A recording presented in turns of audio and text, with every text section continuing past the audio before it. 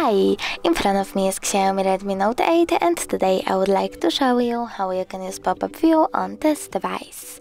First of all, click on the square button over here and tap on the top left corner on floating windows.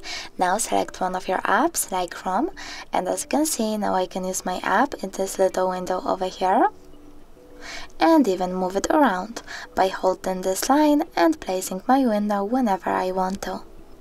You can also use it to overlay other apps by tapping on the chosen app and operating in both of them.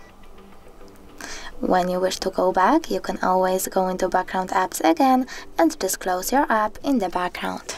Thanks so much for watching. If you enjoyed this video, leave a like, comment and subscribe. Bye!